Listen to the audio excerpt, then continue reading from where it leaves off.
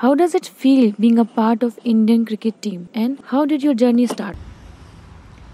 To be a part of Indian women cricket team, um, it is truly uh, like dream come true. It is a blessing, and yes, uh, we all play for that. And uh, the real happiness is to play for uh, Indian cricket team. Uh, basically, it all started in 2011 uh, when uh, a district tournament held in Singrauli, and um, I was a part of that. And uh, that time I didn't know much about uh, cricket, but yet I started and played a district tournament, and then uh, scored and got selected for state team. And uh, after that, I kept continuing that path. Um, some of my seniors and uh, my secretary uh, pushed me, uh, motivated me, and uh, then I found a keen interest in this sport. Uh, it became more of my passion, and yes, I love playing cricket. Who's your favorite cricketer and what do you love the most in him or her?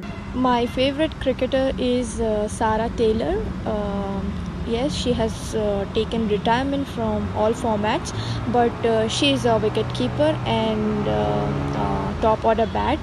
And I love, I just love her collections behind the stumps, uh, especially down the leg ones, and her agility and her way of gathering the ball um, her way of talking and motivating the youngsters.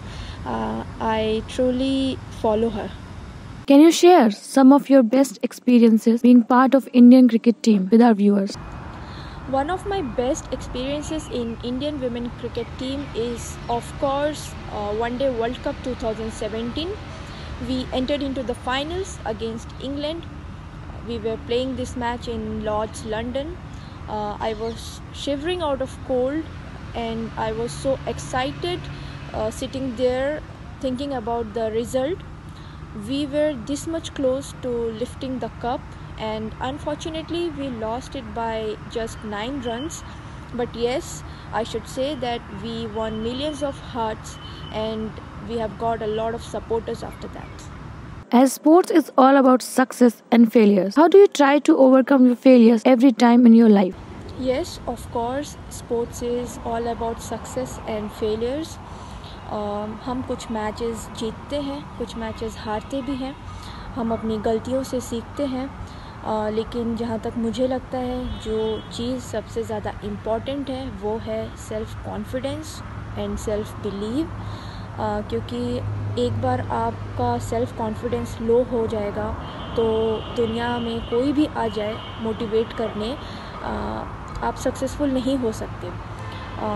I should say that we should start each day as a new day and new opportunity and we should look all the positives of that day जब तक हम uh, उस moment को enjoy नहीं करेंगे हम successful नहीं हो सकते। What advice would you give to future aspiring cricketers?